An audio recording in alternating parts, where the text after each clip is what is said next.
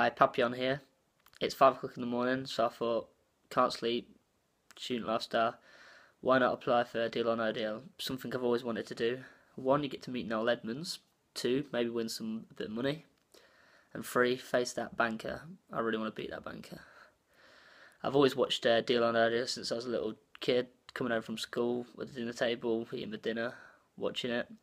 And I've always wanted to go on it, so I finally applying. Latest.